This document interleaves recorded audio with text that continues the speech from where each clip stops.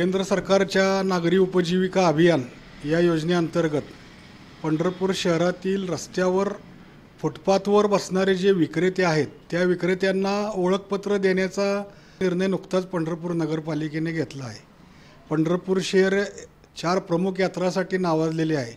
यात्रा कालावधीत तर येथे पथपथ आणि भर रस्त्यावरही हजारो छोटे मोठे विक्रेते उदरनिर्वाहासाठी छोटे मो- विविध साहित्य विक्रीसाठी बसत असतात. पंढरपूर शहरात साडेसहाशे ओळखपत्र जवळपास देण्यात येणार आहेत.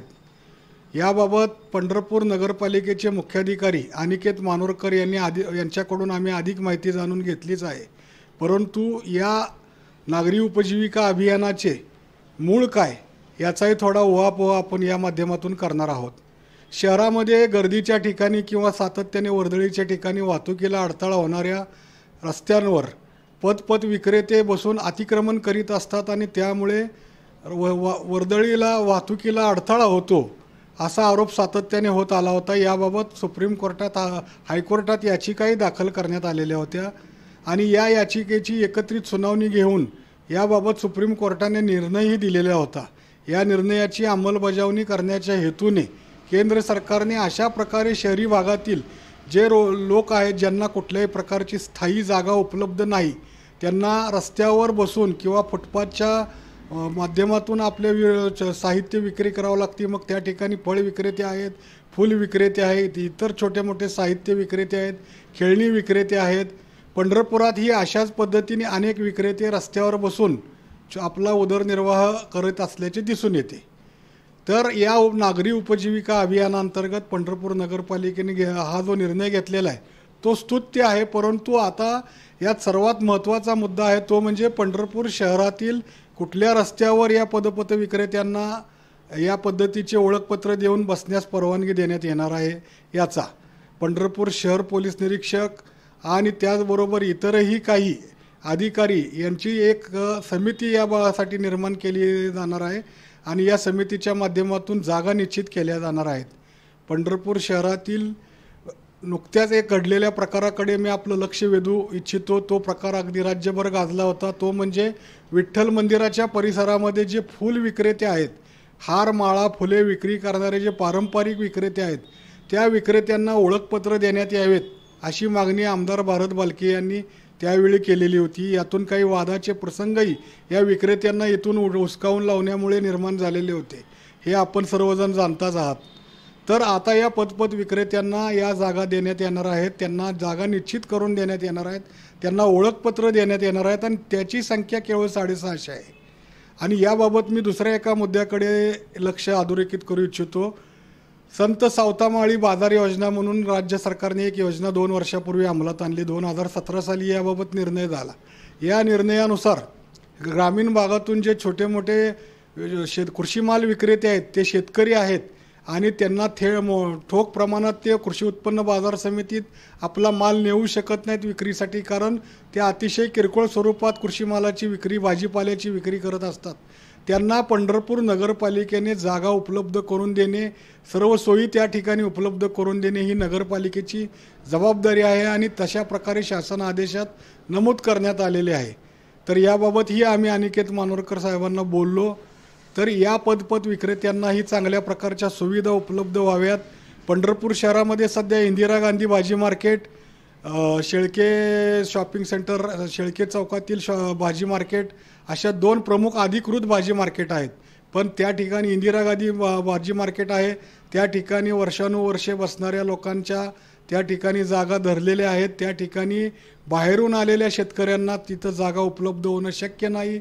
शेळके मार्केट परिसरामध्ये फारसं लोक जात नाहीत. त्यामुळे त्या ठिकाणी विक्री होत नसल्याचे कारण पुढे करून हे शेतकरी नवी पेठेतील या जे पारंपरिक बाजार आहे त्या बाजाराच्या ठिकाणी विक्रीला बसत होते.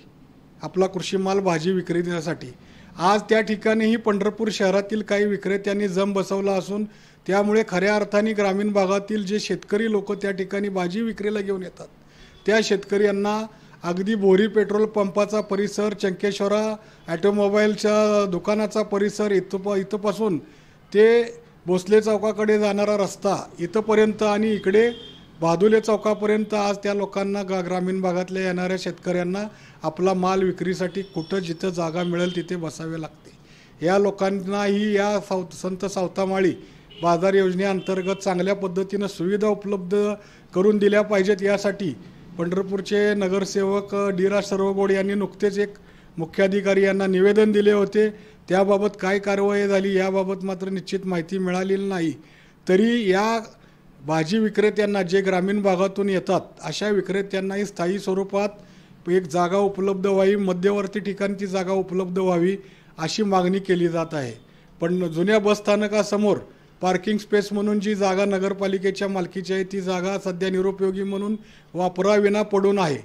तर या ठिकाणीही चांगल्या पद्धतीने त्या विक्रेत्यांची सोय केली जाऊ शकते.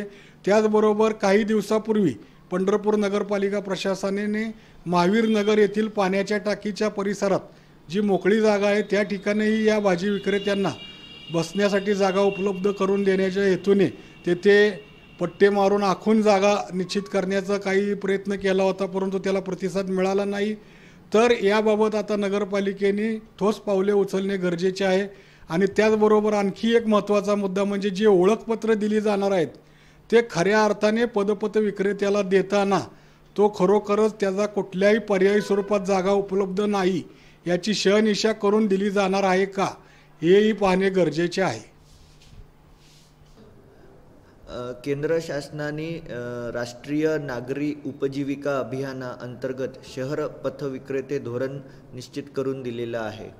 सदर धोरणाच्या अनुषंगाने पंढरपूर नगरपालिका कार्यक्षेत्रामध्ये आम्ही पथविक्रेत्यांचा सर्वे करण्याची प्रक्रिया राबवलेली आहे. त्या अनुषंगाने पंढरपूर शहरामध्ये एकूण सहाशे अठ्ठेचाळीस पथविक्रेत्यांची नोंद स आमच्या सर्वेमध्ये आम्हाला आढळून आलेली आहे. त्याच्यामध्ये स्थिर पथविक्रेते आणि फिरते प पथविक्रेते असा दो दोघांचाही समावेश आहे. परत ते कोणत्या प्रकारचा व्यवसाय करतात याचीसुद्धा यादी आमच्याकडे आहे. त्या यादीच्या मान्यतेसाठी दिनांक अठरा फेब्रुवारी रोजी आम्ही कार्यकारी समितीची पंढरपूर नगर परिषदेमध्ये मिटिंग घेतली. त्याचे सदस्य मुख्याधिकारी असतात. त्याच्यानंतर शहर पोलीस निरीक्षक असतात आणि पथविक्रेत्यांचे सदस्य त्यांच्या संघटनांचे विविध सदस्य असे ते ब संघ समिती आहे. त्या समितीच्या त्या यादीची मान्यता मिळाल्यावर ती यादी आता एक महिन्याकरिता पंचवीस तारखेपासून हरकती व सूचना मागवण्यासाठी प्रसिद्ध करण्यात आलेली आहे. साधारण एक महिन्यानंतर हरकती सूचना प्राप्त झाल्यानंतर आम्ही तिच्यावर त्याला अंतिम मान्यता देऊ. तोपर्यंत या कमिटीची एक उपकमिटी उपसमिती स्थापन करून त्याच्यामध्ये नगर अभियंता आहेत नगर रचनाकार आहेत स्वच्छता निरीक्षक आहेत आणि पथविक्रेत्यांचे सदस्यसुद्धा आहेत. त्या लोकांची समिती नेमून कुठे कुठे पथविक्रेत्यांसाठी जागा निश्चित करता येईल कुठे ना फेरीवाला क्षेत्र घोषित करायचे आहे याबाबतचे सर्वे करून समितीसमोर अहवाल सादर करण्याचे निर्देश त्या उपसमितीला देण्यात आलेले आहेत. त्या उपसमितीचा अहवाल प्राप्त झाल्यावर समितीच्या पुढच्या मिटिंगमध्ये आम्ही फेरीवाल्यांची संख्या ते करत असलेले व्यवसाय आणि त्यांना कुठे शहरामध्ये किती ठिकाणी जागा निश्चित करून देता येईल याचा आढावा घेणार आहोत. हे सगळं झाल्यावर आम्ही त्यांना सर नगरपालिकेच्या सर्वसाधारण सभेची मान्यता सर्व सभेच्या मान्यतेस्तव सादर करणार आहोत. आणि ती मान्यता प्राप्त झाल्यावर सर्व फेरीवाल्यांना सर्वप्रथम नगरपालिकेमार्फत शहरातील सर्वच फेरीवाल्यांना आयकार्ड वाटप करण्यात येईल आणि त्यांना त्यांची जी जागा ज्या जागा त्यांना निश्चित करून द्यायच्या आहे त्याच्याबद्दलचं त्यांना पत्र देण्यात येईल. आणि त्या त्या जागेवरच त्यांनी त्यांचा व्यवसाय करावा किंवा जर फिरते फेरीवाले असतील तर त्यांनी त्यांच्या अलॉटेड एरियामध्येच त्यांचा व्यवसाय करावा असं आम्ही त्यांना निर्देश देऊ. आणि त्यानंतर जर ते क्षेत्र सोडून किंवा ती जागा सोडून इतरत्र ठिकाणी जर कुठे फेरीवाला आढळले तर त्यांच्यावर मग नगरपालिकेमार्फत आम्ही कारवाई करणार आहोत. यामध्ये मंदिर परिसरात जे विक्रेते हो सगळ्यांचा आम्ही जे जेवढे शहरामध्ये फेरीवाले आहेत त्या सगळ्यांचा आम्ही याच्यामध्ये समावेश केलेला आहे. ते सगळं त्यांचा व्यवसाय करणं कोणत्या प्रकारचा व्यवसाय करतात अशा सगळ्यांचा आम्ही त्याच्यामध्ये समावेश केलेला आहे. आणि अजूनही ती यादी ओपन आहे एक महिन्यासाठी कोणाचे जर नावं राहिले असतील तर त्यांनी आमच्याकडे येऊन ते अजूनही देऊ शकतात ते आम्ही त्याच्यामध्ये निश्चितपणे इन्क्लूड करू. आणि ते सगळं झाल्यावर मग त्यांच्या जागा निश्चित केल्यावर आम्ही त्यांना जागा अलॉट करू. त्यामुळे त्या जागेवरच त्यांनी बसणं अपेक्षित आहे. ग्रामीण भागातील बरेच भाजीपाला विक्रेते शहरात येतात रस्त्यात कुठे बसतात त्यांना त्या त्या प्रकारचा सुद्धा सर्वे करण्याचा निर्णय आम्ही या समितीमध्ये घेतला की जे आठवड्यातून एक दिवसच येतात किंवा आठवड्यातून दोन दिवस आठवड्या बाजारासाठी येतात फक्त. किंवा आता पंढरपूरच्या द- दृष्टीने जे फक्त यात्रा कालावधीमध्ये म्हणजे वारीच्या काळामध्ये काही आपल्याकडे विक्रेते येतात तर त्यांचा कुठं सुद्धा सर्वे करून आपल्याकडे यादी आम्ही नगरपालिकेकडे आम्ही यादी ठेवणार आहोत. आणि त्या लोकांना त्या त्या कालावधीमध्ये कुठे कुठे जागा द्यायची याच्याबद्दलचं सुद्धा निर्णय आमची समिती घेणार आहे आणि तो नंतर सर्वसाधारण सभेच्या मान्यतेने आम्ही जाहीर करणार आहोत.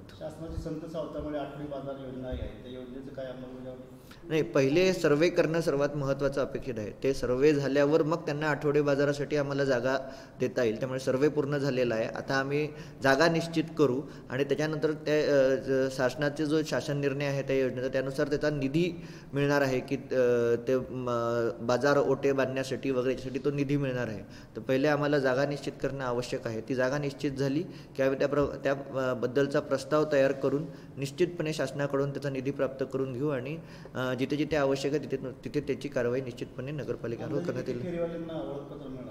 सहाशे अठ्ठेचाळीसचा सर्वे आत्ता आम्ही केलेला आहे. त्याच्यामध्ये आता एका महिन्यानंतर आपल्याला कळेल की किती जणांचं नवीन अर्ज येतात किंवा किती ॲडिशन होतात काही डिलिशन होतात.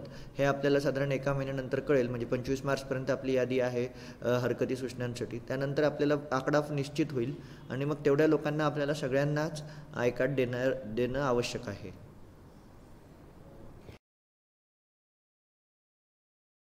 अशाच प्रकारच्या ताज्या घडामोडी पाहण्यासाठी पी व्ही एन म्हणजेच पंढरी वार्ता न्यूज या चॅनलला सबस्क्राईब करा आणि शेजारच्या बेल आयकॉनवर क्लिक करा.